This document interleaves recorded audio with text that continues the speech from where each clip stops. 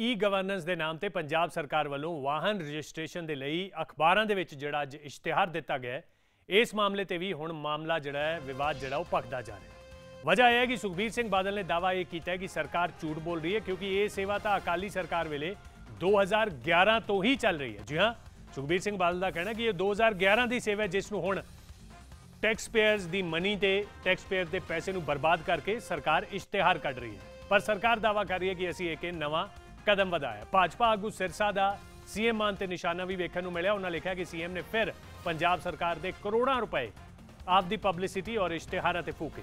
ਅਰਵਿੰਦ ਕੇਜਰੀਵਾਲ ਦੇ ਇਸ਼ਾਰੇ ਤੇ ਚੱਲਦਿਆਂ ਸਰਕਾਰੀ ਖਜ਼ਾਨੇ ਨੂੰ ਚੂਨਾ ਲਗਾਇਆ ਜਾ ਰਿਹਾ ਹੈ। ਇਹ ਕੀ ਵਿਵਾਦ ਹੈ? ਕਿੱਥੋਂ ਸ਼ੁਰੂ ਹੋਇਆ? ਦੇਖੋ ਇਹ ਰਿਪੋਰਟ।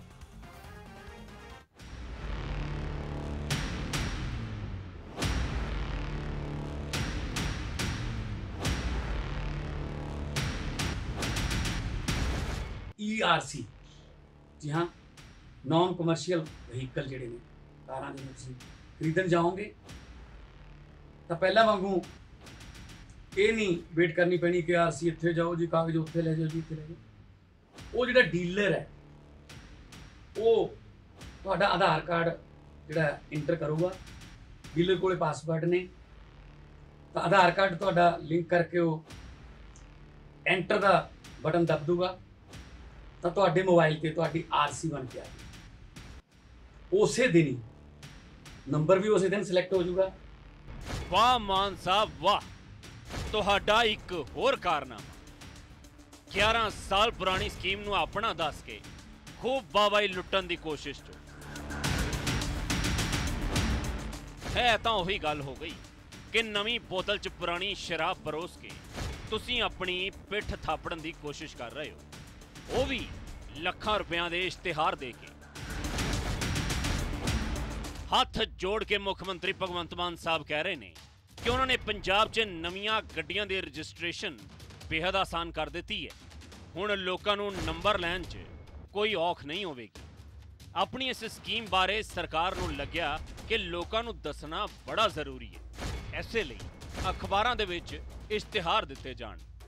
ਟਰਾਂਸਪੋਰਟ ਵਿਭਾਗ ਨੇ ਇਸ ਕੰਮ ਨੂੰ ਗੰਭੀਰਤਾ ਨਾਲ ਲੈਂਦਿਆਂ ਸਾਰੀਆਂ ਅਖਬਾਰਾਂ 'ਚ ਇਸ਼ਤਿਹਾਰ ਵੀ ਦੇ ਦਿੱਤੇ।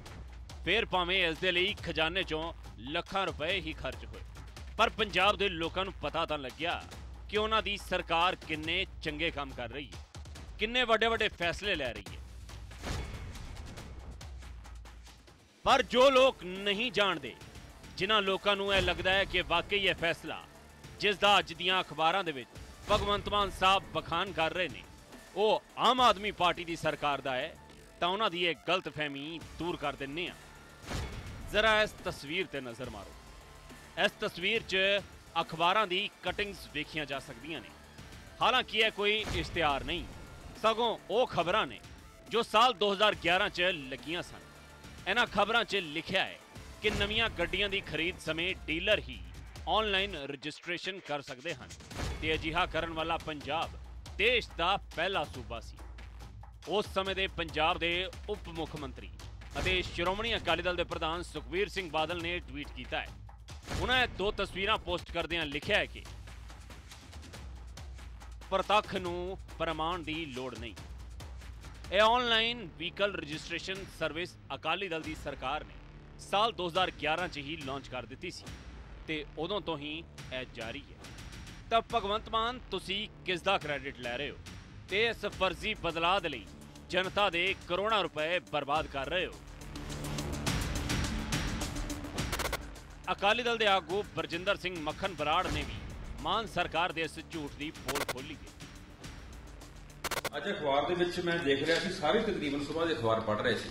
ਉਹਦੇ ਵਿੱਚ ਸਰਕਾਰ ਨੇ ਬਹੁਤ ਵੱਡੇ ਪੱਧਰ ਤੇ ਐਡ ਦਿੱਤੀ ਹੋਈ ਆ ਕਿ ਅਸੀਂ ਬਾਈਕਲ ਦੀ ਰਜਿਸਟ੍ਰੇਸ਼ਨ ਦਾ ਕੰਮ ਸ਼ੁਰੂ ਕੀਤਾ, ਬੜੀ ਆਸਾਨੀ ਵਾਸਤੇ, ਲੋਕਾਂ ਵਾਸਤੇ ਕੰਮ ਕੀਤਾ।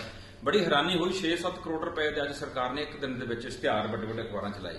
ਲੇਕਿਨ ਅਫਸੋਸ ਇਸ ਗੱਲ ਕਰਕੇ ਲੱਗਦਾ ਹੈ ਕਿ ਇਹ ਪਹਿਲਾਂ ਅੱਜ ਤੋਂ 11 12 ਸਾਲ ਪਹਿਲਾਂ ਸ਼੍ਰੋਮਣੀ ਅਕਾਲੀ ਦਲ ਦੀ ਸਰਕਾਰ ਨੇ ਇਹ ਸਭ ਕੁਝ ਸ਼ੁਰੂ ਕੀਤਾ ਸੀ। ਆ ਮੇਰੇ ਕੋਲੇ ਕੁਝ ਕਟਿੰਗ ਹੈ, ਪੁਰਾਣੇ ਅਖਬਾਰਾਂ ਦੀਆਂ ਰੱਖੀਆਂ, ਮੈਂ ਸਾਰੇ ਅਖਬਾਰ ਸਾਂਭ ਕੇ ਰੱਖਦਾ ਪੁਰਾਣੇ। ਔਰ ਤਕਰੀਬਨ ਇਹ 12 ਅਕਤੂਬਰ ਦੀ ਗੱਲ ਹੈ 2011-12 ਦੀਆਂ ਗੱਲਾਂ ਨੇ। ਉਸ ਵੇਲੇ ਇਹ ਸਾਰਾ ਕੁਝ ਸ਼੍ਰੋਮਣੀ ਅਕਾਲੀ ਦਲ ਦੀ ਸਰਕਾਰ, ਉਸ ਵੇਲੇ ਦੇ ਡਿਪਟੀ ਸੀਐਮ ਸਰਦਾਰ ਸੁਖਬੀਰ ਸਿੰਘ ਬਾਦਲ ਸਾਹਿਬ ਨੇ ਇਹ ਸਾਰਾ ਕੁਝ ਐਲਾਨ ਕਰਕੇ ਇਹਨੂੰ ਇੰਪਲੀਮੈਂਟ ਕੀਤਾ ਸੀ। ਇਹ ਸਾਰੀਆਂ ਜਿਹੜੀਆਂ ਸਹੂਲਤਾਂ ਤਕਰੀਬਨ ਨਾ ਨਵੀਆਂ ਗੱਡੀਆਂ ਦੀ ਡੀਲਰਸ਼ਿਪ ਉਹ ਕਰਨਗੇ ਰਜਿਸਟ੍ਰੇਸ਼ਨ ਇਹ ਸਾਰਾ ਕੁਝ ਉਸ ਵੇਲੇ ਹੋ ਚੁੱਕਿਆ। ਔਰ ਉਸ ਵੇਲੇ ਇਹ ਸਾਰੀਆਂ ਪਾਵਰਾਂ ਉਹ ਡੀਲਰਸ਼ਿਪ ਨੂੰ ਦਿੱਤੀਆਂ ਗਈਆਂ ਸੀ। ਕਿ ਆਰਸੀ ਉਹਨਾਂ ਤੋਂ ਬਣ ਕੇ, ਉਹਨਾਂ ਤੋਂ ਨੰਬਰ ਬਣ ਕੇ ਉਹਨਾਂ ਨੂੰ ਉਪਲਬਧ ਹੋਊਗਾ ਜਿਹੜੇ ਕਿ ਗੱਡੀਆਂ ਖਰੀਦਣਗੇ।